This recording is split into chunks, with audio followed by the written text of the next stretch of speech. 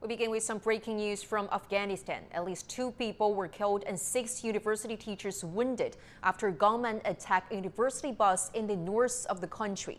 The perpetrators opened fire from a sedan car outside the, the city of Pul-e-Khumri in Baghlan province.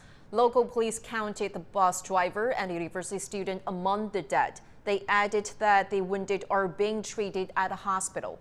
The gunman fired uh, fled the scene after the incident and no group has yet claimed responsibility.